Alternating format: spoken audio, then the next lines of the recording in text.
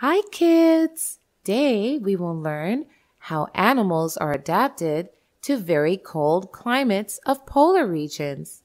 So let's start.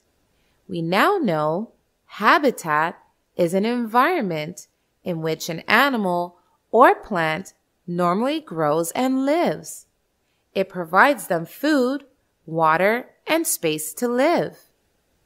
A habitat can be a home to many types of organisms. Different types of organisms have different features that help them to survive in their habitat. That is, they are adapted for their habitat. Let's see how plants and animals are adapted for very cold and dry climate of polar regions. Let's first learn about penguins. Penguins live in Antarctica, which is southern polar region and is extremely cold as it is covered with snow. Let's see how penguins adapt. Penguins are adapted to swim fast.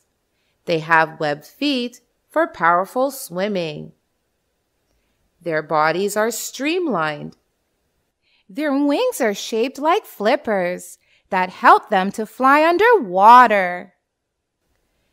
Penguins need to keep them warm as their habitat is Antarctica, which is extremely cold. They have very thick skin with lots of fat stored under the skin that keeps them warm. Penguins huddle together in groups of hundreds or thousands so as to keep them warm.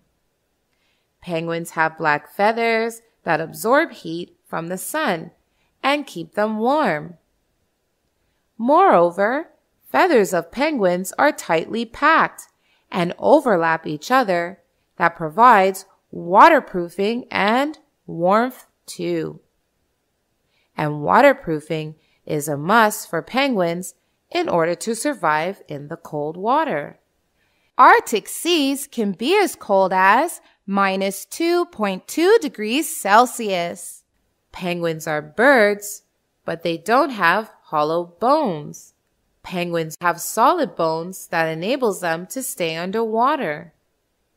So these are some of the adaptations of penguins in order to adapt to its habitat, which is cold and frozen. Now let's see how polar bears are adapted for its habitat. Polar bears lives in very cold or extremely cold Arctic. Then, how do they survive there? Polar bears have a very thick layer of fat under their skin that gives them warmth. They also have a thick layer of fur that too gives them warmth. The thick layer of fur is white.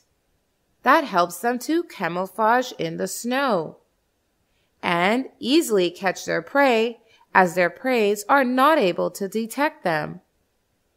They also have very large, wide paws that helps them to walk on snow. And their fur coat is very greasy and sheds after swimming and keeps them warm. Polar bears have excellent sense of smell that helps them to find their prey. Now, let's see how plants are adapted to polar regions. Only small shrubs and mosses are grown in this area that grow close to the ground that protects them from freezing cold wind. They always grow in clumps that protects them from wind and cold. The plants grown here are very dark in color to absorb solar heat. And their roots are not deep as they cannot penetrate the hard ice. Roots are very shallow and widespread. Now let's learn about one more adaptation of animals in polar regions, which is hibernation. Hibernation is deep sleep to save energy. Animals in the polar regions mostly hibernate. That is, They go into deep sleeps for months and come out only in summers. And some animals migrate to warmer areas and come back when in summer season. So kids, we learned about some of the adaptations made by animals and plants in very cold regions. Now you may go ahead and take a quiz to learn more. Bye bye. Thank you so much for watching. Don't forget to like, comment, and share this video.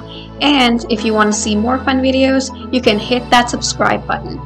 You can also follow us on Facebook and Instagram for more content. Bye-bye!